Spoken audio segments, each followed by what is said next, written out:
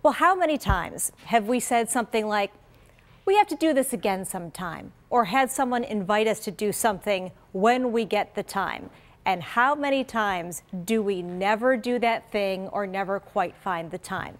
You probably already have an answer for that.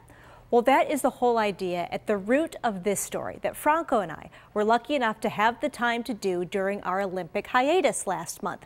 It gave us a chance to see a place that we'd been to many times before through a whole new set of eyes. Just one additional note here, masking rules were still in place when we shot this piece, so we're wearing masks, but we're very excited to take the time to share this with you today on Most Buffalo. After all, it's kind of a long story.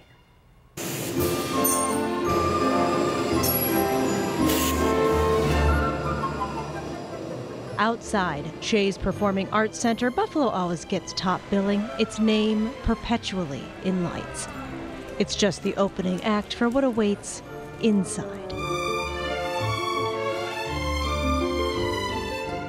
I like to see the little ones come in. They come for kid shows, they're like six or seven, and they look around and say, Does the princess live here? It's almost a shame when you think about it. A place so beautiful, and people spend most of their time here in the dark. I know you've been here for so many years. Do you, you know, what do you feel when you come in here? Take a minute. It's, it's still in times slightly overwhelming. The, the mere scope of the place and the amount of work. A work of art when it opened in 1926, this showpiece relies today on the trained eye and creative hands of an artist who also possesses the diligent tenacity of a researcher combined with just a dash of refined frugality someone mindful that the tiniest details make the masterpiece. This is where all the magic happens. Her name is Doris. I was an art teacher eons ago. Today, Doris Collins is Shea's historic. Here I am 26 years later, still around. Restoration. We've replaced most, so many of the loose wires. They hold hundreds and hundreds of crystal beads. Consultant. I'm going to show you my favorite part. Oh. And it's not anything ornate that you might think of. Last time I saw you, and you said, if you ever have a chance, you should come and we'll do this. And so I'm just really glad that I was able well, to take you up on I was glad that you were able to do that. I first met Doris while doing a story about Western New York's haunted places. And when she finished telling me a ghost story about the theater, she told me if I ever had the time and wanted to really see Shea's, she'd show me around. Well, recently, I did have the time. And did she ever show me around? Ta da! Cellar to ceiling and even beyond, I couldn't pass up this rare opportunity to not only look around, but really learn more about what goes into polishing this Queen City jewel.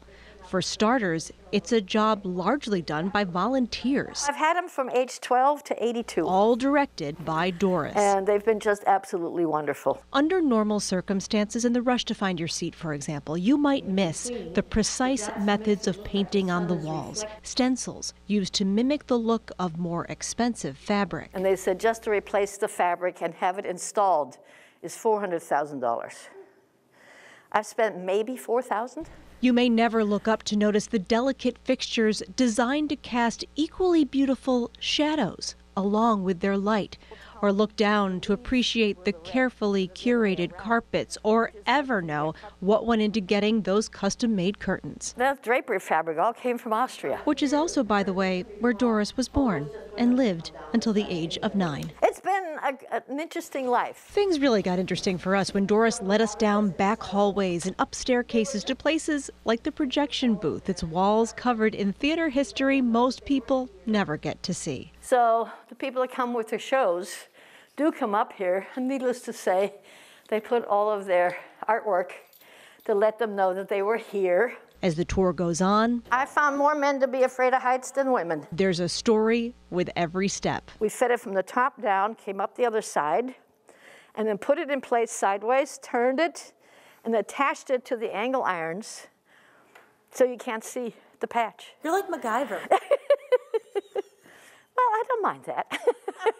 And never could you imagine looking up at that ceiling. This eerie world is just on the other side.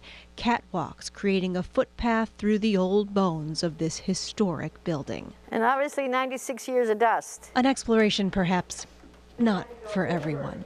Thankfully, through all its years, there has been someone who has loved this theater enough to pardon the dust and make sure whoever walks through its doors is transported to somewhere beyond their imagination. 96 years and counting. Shea's is still alive with incredible sights and great performances, and one woman who you may never see, but now you know, her heart is here in every corner. I jokingly say that uh, obviously we don't live forever, and I don't intend to be buried. I'm going to be cremated. That's already in my will. And I told uh, Michael Murphy, our president, he has to find a nice little niche that they can do a little little entry with a brass and glass door and put my urn in there that says Doris Collins, restoration consultant. She never left. Haunting them if they don't. when we knew that we were going to have time to do a story like that, she was the first person that I got in touch with because I said, Hey, Doris, remember when you said I could come and you'd show me around and take me up in the ceiling? Like, let's do it. So she's a wonderful, wonderful person, so mm-hmm. incredibly knowledgeable and unbelievably talented. And you wouldn't even realize when you walk in there that so much of that place has her uh, as part of it. So it's what a cool experience. Yes, it seems like she's the perfect person for their job. Yes. Right?